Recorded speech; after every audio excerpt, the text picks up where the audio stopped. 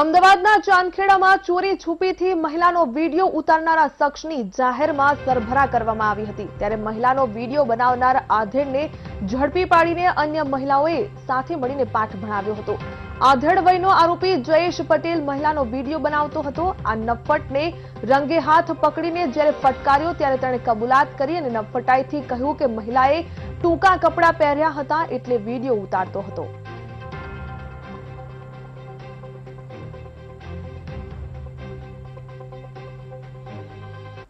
મારી નિયત ખરાબ થઈ એટલે મેં વીડિયો ઉતાર્યો બોલ કેમ ઉતારે તો કેમ આવ્યો કેમ બોલ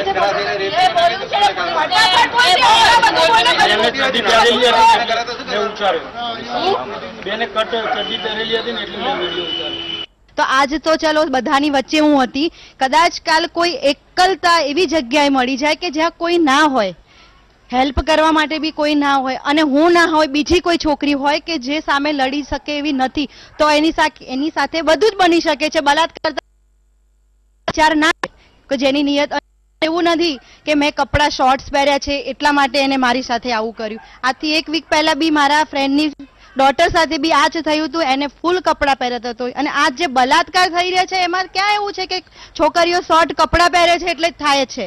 સાડી પહેરે છે તો થાય છે ને ડ્રેસ પહેરે બી થાય છે. આ બલાત્કારીઓને એનાથી કંઈ લેવા લેવા નથી હોતો, એને એજથી પણ લેવા. એક મહિનાની છોકરીથી લઈને પચાસ વર્ષની લેડીઝ જોડે બી બલાત્કાર થતો હોય છે, તો એનું શું રીઝન હોય?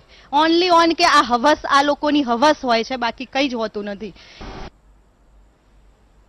આધેડ વયનો શખ્સ ફોન કાને રાખીને કોઈ સાથે ફોનમાં વાત કરવાનું નાટક કરી રહ્યો હતો, પરંતુ તેના ફોનમાં ફ્લેશ લાઇટ ચાલુ હતી, જેને કારણે મહિલાને શક ગયો અને તે આધેડ તેનો વીડિયો ઉતારી રહ્યો છે. આવામાં મહિલાએ તેની પાસે ફોન માંગ્યો પરંતુ આધેડે ફોન જોવા ન દીધો, જેને કારણે મહિલાને વધારે શંકા ગઈ. અને તેણે ફોન આંચકી લઈને તપાસ કરી તો ધ્યાને પડ્યું કે આરોપી તેનો વીડિયો બનાવી રહ્યો હતો.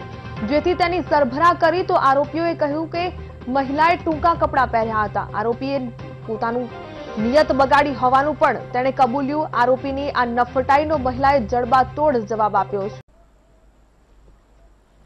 ફરિયાદમાં એવો આક્ષેપ કરેલા કે જે આરોપી છે એ બેનનો પોતાના મોબાઈલમાં વીડિયો ઉતારે છે. આરોપી જે છે, એસી રિપેરિંગનું કામ કરતો હતો અને આરોપીનું નામ છે જયેશભાઈ પટેલ, જે અમદાવાદ સીટીએમ વિસ્તારમાં રહેવાસી છે. જેની ધરપકડ પણ કરેલ છે. અને હાલમાં તપાસ ચાલુ છે.